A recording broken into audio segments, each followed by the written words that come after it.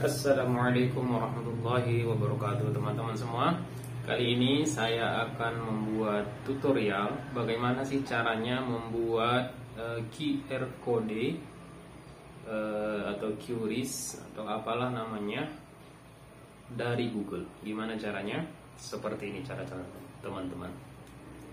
Pastikan di laptop atau di HP kamu sudah membuka uh, pencarian Google kita klik pencariannya buat biar gampang aja buat QR code.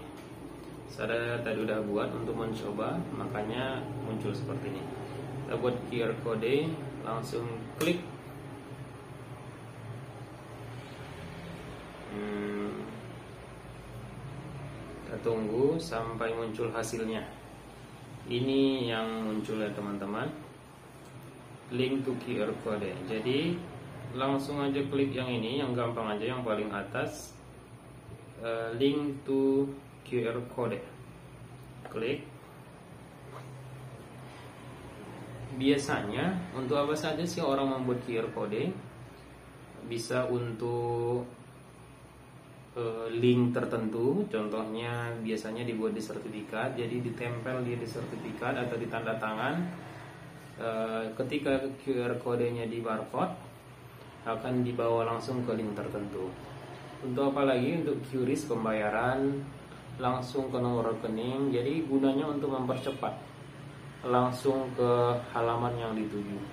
Bisa juga untuk nomor WA, bisa juga untuk tele, uh, Telegram. Banyak banget fungsi QR code ini yang tujuannya untuk mempercepat langsung ke link yang dituju. Bagi teman-teman yang sedang butuh QR code, langsung kita buat. Ini create QR code, langsung klik ini, kita buat.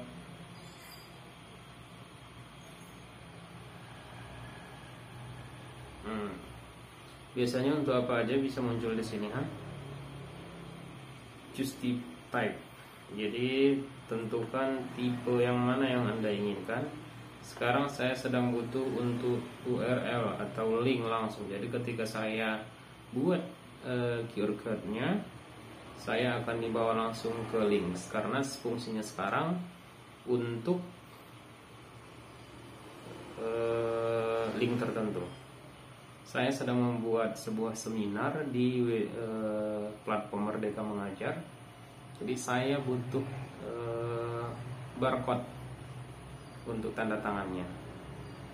Di sini saya sudah buat apanya? Google Drive nya jadi saya taruh URL dari Google Drive yang akan dijadikan pada saat seminar.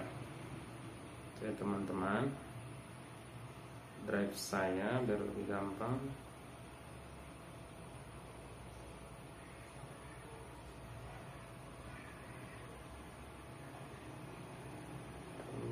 jaringannya dolan ini judul seminar yang saya buat. Jadi di dalamnya saat orang-orang mengkliknya sudah muncul nanti daftar hadir undangan absensi kehadiran. Tuh. Jadi link eh, Google Drive ini yang akan saya buat.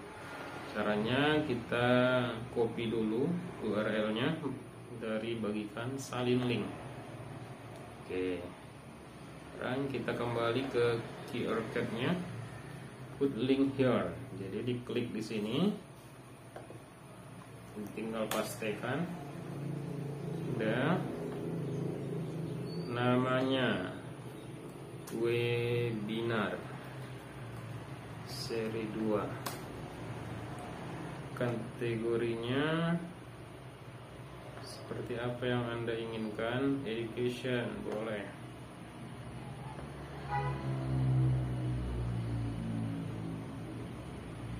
oke customize. Langsung hadir hasilnya guys.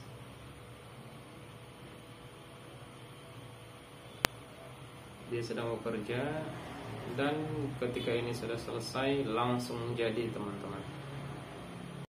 Seperti ini hasilnya teman-teman.